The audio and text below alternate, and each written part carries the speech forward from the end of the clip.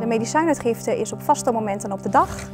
En verder kijk je wat er op je pad komt. Eigenlijk is geen dag gelijk.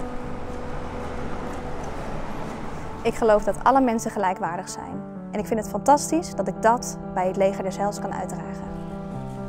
In de Blinkert wonen mensen met een scala aan psychiatrische stoornissen. In de reguliere zorg vallen ze vaak tussen wal en schip. En wij proberen dan een plekje te vinden wat goed bij ze past.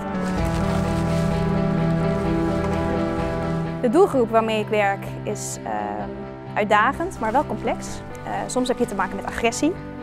Soms willen mensen weg. Dat betekent dat je stevig in je schoenen moet staan, dat je compassie moet hebben en dat je vooral je werk niet mee naar huis moet nemen. Het is fijn dat je in een dienst altijd met z'n tweeën bent en kan sparren met je collega's.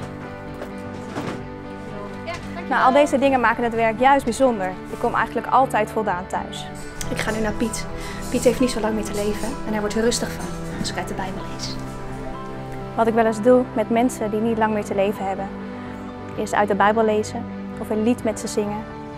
En ze worden daar rustig van en ik vind dat zo mooi om te zien.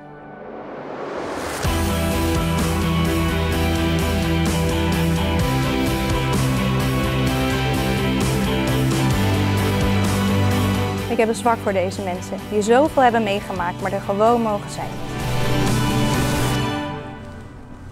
En daarom werk ik bij het Leger des Heils.